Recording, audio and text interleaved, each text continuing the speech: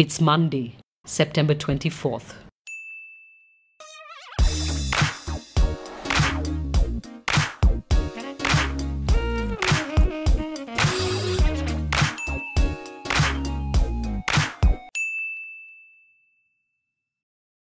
How often does an illness or an injury sustained by one member of a family push that family into poverty? In India, 55 million people were pushed into poverty in one single year because of healthcare expenses. 38 million of them became poor only because they had to purchase medicines through out of pocket payments. Out of pocket expenditure is the payment an individual makes at a point of service which is not covered under any financial protection scheme or insurance. In India, out of pocket medical expenses make up a whopping 62% of healthcare costs. Compare this to even BRICS nations, let alone developed ones. Out of pocket expenses are contained at 20% in these countries. Which is why public health experts are asking whether the government's ambitious Ayushman Bharat or the National Health Protection Mission just rolled out could prove to be a game changer. Illness doesn't consider economic background, neither should cure, says the promotional material. What exactly is the scheme? Ayushman Bharat, now known as the Pradhan Mantri Jan Arogya Yojana, will provide financial protection or up to 5 lakh cover per family per year for secondary and tertiary care. This will cover over 10 crore families. It will allow for treatment in any public or empaneled private hospital across the country. All members of eligible families, as per the Socio-Economic Caste Census 2011 data, can avail of the cover. It essentially covers deprived rural families and identified occupational categories of urban workers' families. 1,350 medical packages covering surgery, medical and daycare treatments, including medicines, diagnostics, and transport, have been identified. Okay, but what about primary healthcare? The scheme provides for upgrading 1,50,000 sub-centers into health and wellness centers and proposes to provide comprehensive primary healthcare. This includes diagnostic services. Sounds good on paper. So, what are the main challenges? To begin with, where will the beneficiaries be able to use this 5 lakh cover if they find it difficult to even access hospitals and doctors? India faces a huge supply shortage of human resources and hospitals and diagnostic centers. Nearly 40% of health workers' posts are lying vacant in many states. There are either no doctors at all, or there is a crippling shortage of doctors in primary health centers. There are a vast number of district hospitals that are meant to provide secondary care that simply have no specialists.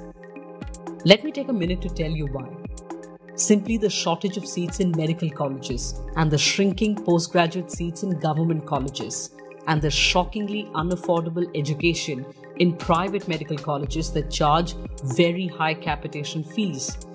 India's medical education crisis, of course, merits a separate report, so more on that later. Now, back to the protection scheme. There is also deep disparity in availability of hospitals, diagnostic centers, and doctors between different states.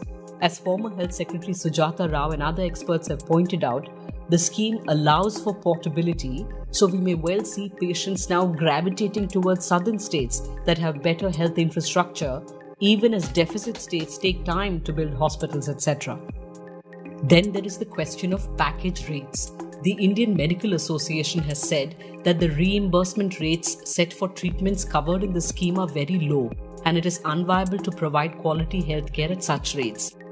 The IMA claims most package rates set by the government do not cover even 30% of the cost of the procedure, and no hospital can work on these rates without seriously compromising patient safety. The scheme, they say, would be a non starter owing to this. The business line reported last month that bigger hospitals are staying away due to the scheme's lack of clarity.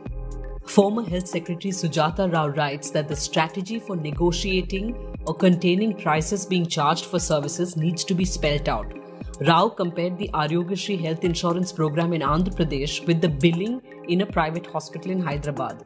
She says The rates here were not only incomparable but also did not reflect the market prices of common procedures or treatment protocols to be followed by hospitals.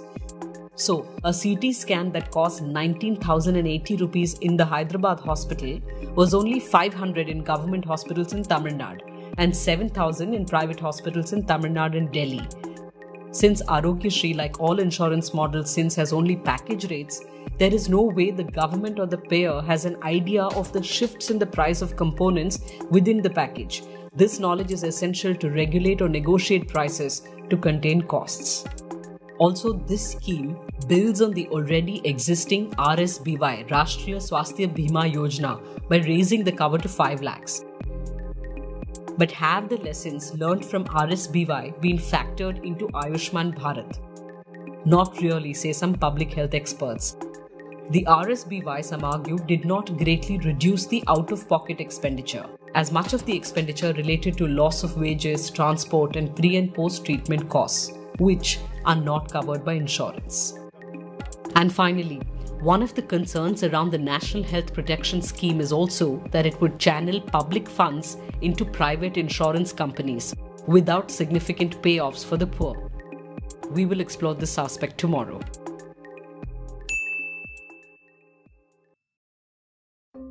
It was the Indian government that proposed that Anil Ambani's Reliance Defense be named the India partner in the Rafale deal.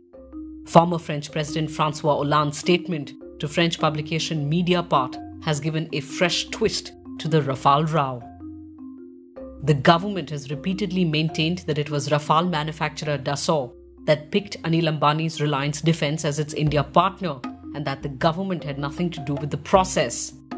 The opposition has been alleging cronyism in Anil Ambani's Reliance Defense being picked to partner French company Dassault as the offset partner.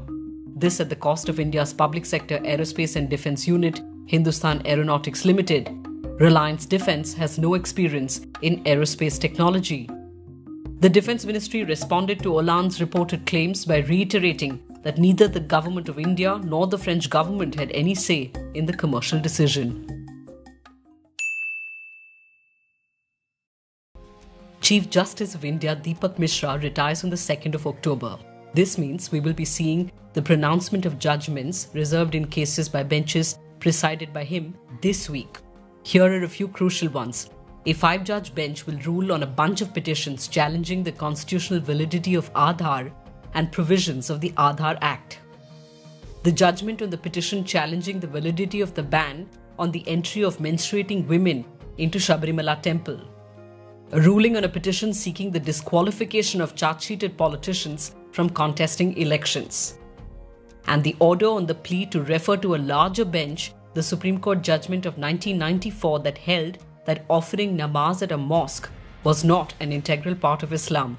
This is part of and key to the appeal of the 2010 Allahabad High Court judgment on Ayodhya or the Ram Janmabhoomi Babri Masjid dispute.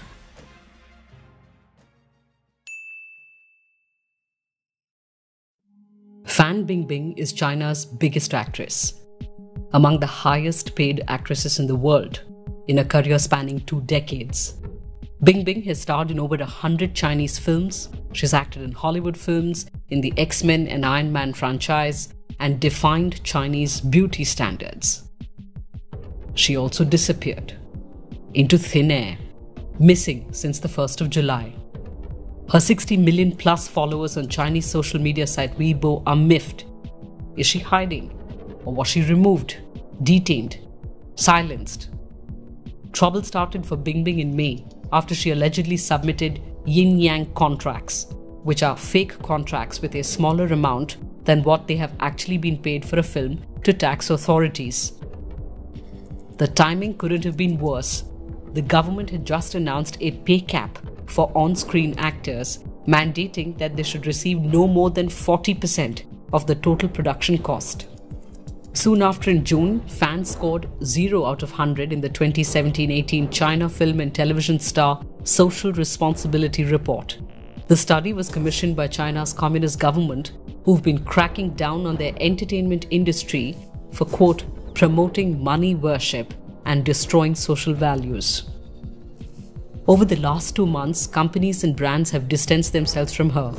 her fiance, another Chinese actor, has erased all photographs or mentions of her from his profile on Weibo.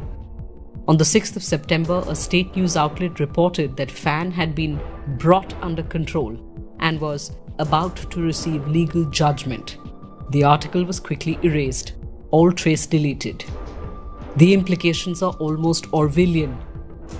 The use of so called black jails or re education camps have been ramped up across China since President Xi Jinping came to power in 2013, reported Time magazine. Two months ago, Fan Bingbing was a powerful global actress. Today, she's in the headlines next to the word missing. So, where could Bingbing be? Call us if you find out. We'll see you tomorrow.